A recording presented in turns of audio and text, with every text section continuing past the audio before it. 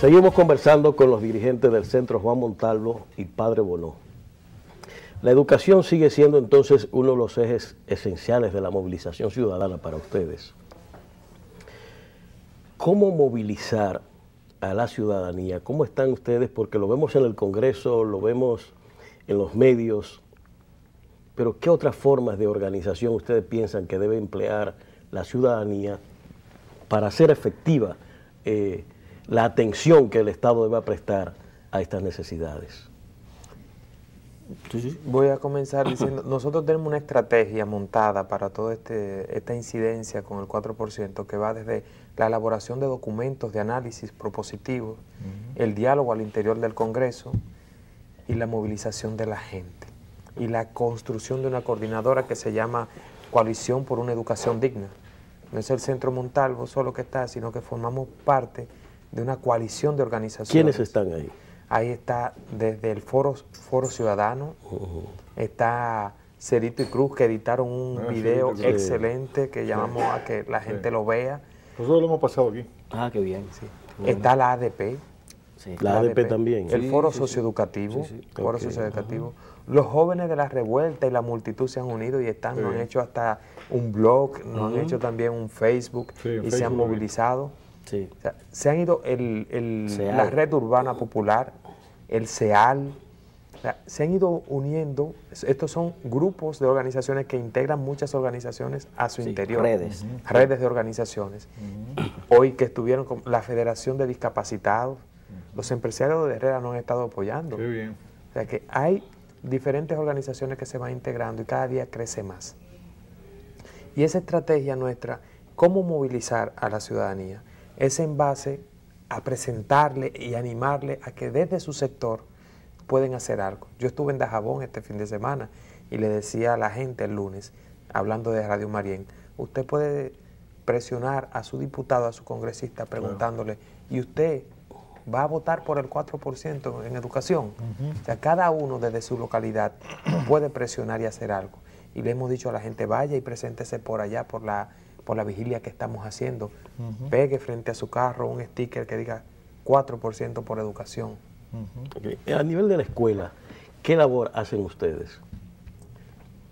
Como centro. En términos, como centro, o sea, pero sobre todo dentro de esta estrategia que ustedes mencionan para la eh, promoción eh, del 4% para la educación. Bueno, ahí dentro de las redes que están integradas en la coalición Educación Digna, hay ya eh, entidades que trabajan directamente con escuelas. Por ejemplo, el martes se empezó con un un pequeño curso de, bachilleres con 15 alumnos que le daban la bienvenida a los diputados y sus paraguas. Y bienvenidos, 4% eh, para la educación y mil por mil calidad. Sí, sí. Entonces, pero ya para la semana próxima que viene, nosotros tenemos una agenda ya de colegio y escuela que comienzan a, solicitar. Queremos estar, queremos estar. y eso ya es un movimiento que han, el movimiento que ha comenzado las distintas instituciones que están vinculadas directamente con escuelas y que están haciendo ese trabajo de animación en las escuelas. Eh, esta semana ha entrado el gremio magisterial, que para nosotros era una de las cosas muy importantes. Yo creo que ya estamos ganando. El hecho de que el magisterio se integre a esta campaña ya es una ganancia porque que ustedes, que ustedes conozcan, hace mucho que no se movilizaba en, el, magisterio y está movilizado por este esta consigna nacional. Es una consigna nacional.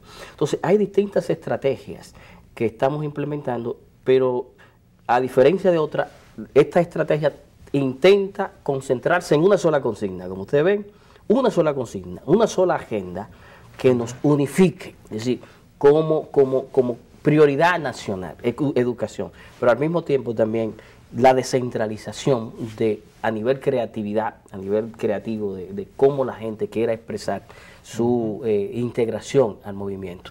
Y pues una persona que lo esté, que esté escuchando ustedes ahora y diga, bueno, yo quiero dar mi granito de arena, yo quiero apoyar, yo quiero ser parte de este esfuerzo nacional para reclamar el 4%, eh, puede llamar a emisoras de radio, eh, puede presentarse al Congreso, eh, hay múltiples formas entonces. Los congresos, los congresistas tienen oficina de gestión en cada una de las provincias, pueden oh. acercarse. pueden llamar a sus programas locales y participar llamando a que ellos apoyan lo del, cuarto por, lo del 4%. Precisamente hoy, hoy hubo un curso de una escuela que trajo la Asociación de Profesionales de la, de la Educación, llevó un curso y allí estuvo y estuvo manifestándose. El primer día uno de esos cursos hizo un decálogo sobre la importancia de la educación. Hicieron canciones y también una pintura.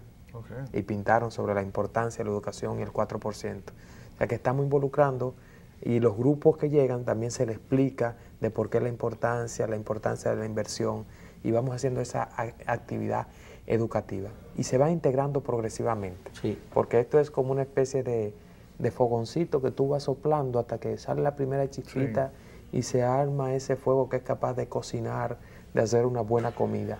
Yo no he visto un solo medio de comunicación que no haya editorializado, que no haya destacado en sus primeras páginas la pertinencia del 4%. Primero porque se cumpla la ley y segundo porque es absolutamente necesario dada la realidad de la educación del país. Es decir que este movimiento tiene el apoyo de los medios de comunicación, ¿verdad? Tiene el apoyo de crecientemente de los ciudadanos y ciudadanas. Eh, entonces, lo, lo único que está infranqueable son estos señores diputados y senadores, ¿verdad? Ahí es que hay que hacer la labor. Está infranqueable primero el Ejecutivo, que fue quien, ha hecho, la, propuesta, digamos, indecente, porque nosotros tenemos